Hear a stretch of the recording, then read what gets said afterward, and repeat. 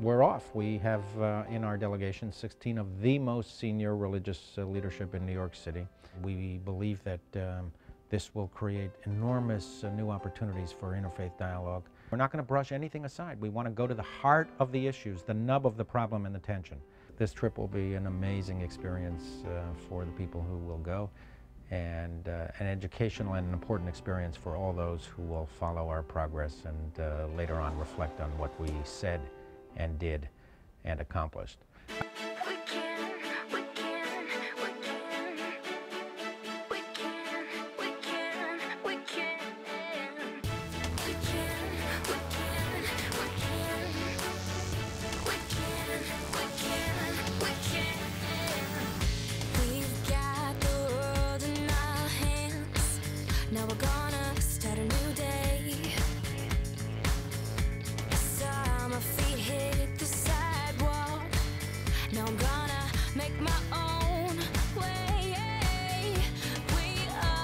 Attitude towards Jerusalem is that everyone wants to possess Jerusalem exclusively. Uh, Can you just discuss uh, Gilad Shalit exchange?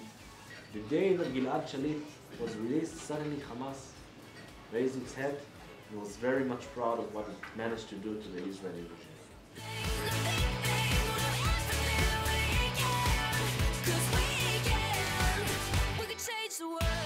One thing that becomes so very clear is indeed the amazing complexity. How do you ever resolve that? We hope and we pray that uh, here in the City of Peace, um, that we uh, continue to advance towards a more peaceful area and a more peaceful world. Hands down, the most exciting thing for me was meeting Shimon Peres. We've had a trip which has been sometimes very hopeful and uh, sometimes less so. That that is on my bucket list. I don't know if I'm on his, but uh, um, it was it was it was cool. box. I was uh, instructed by a rabbi that when I get to the to Jerusalem, that I should take this tzedakah money, charity money, and place it into the uh, tzedakah box. So you're my witness. We talk a good talk. Oh, yes, you're great preachers. But what I'm urging upon us, all of us, is that we wage peace, not just talk peace. As we're standing here, just in case we happen to hear a siren, and there's a chance that we will, we'll have about three seconds to run back toward the bus. And just on this side of the bus is a small little concrete wall, and we'll try to fit all of us um, on the other side. Ca- Here you can see very, very small collection from over than 9,000 rockets that the terror organization shoot since April 2001 till the last week.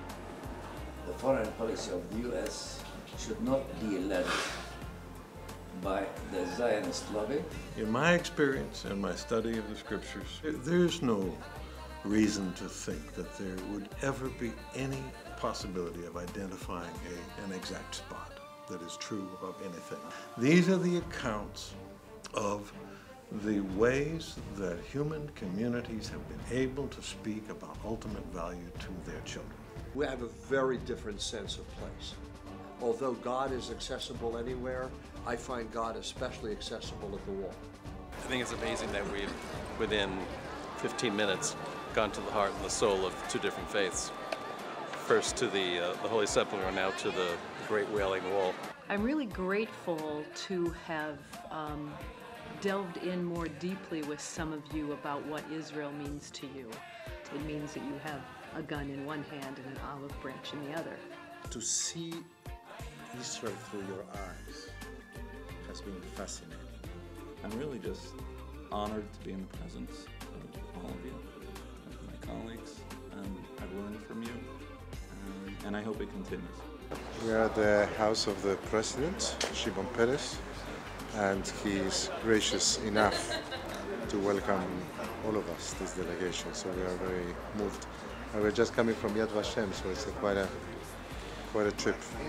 You cannot imagine how much congregations or how much the message of rabbis, ministers, and imams traveling together is a significant one to the Israeli citizen. No, this is not a typical group. We have a responsibility as leaders in our field to do whatever we can beyond what we have been doing. It's not enough that we simply go back and say, oh, I had a great time. I went to Israel, I saw this, I did this, and oh, yes, and I met with the mayor. And, and uh, no, that is not nearly enough. As far as I'm concerned, our trip here was only the beginning.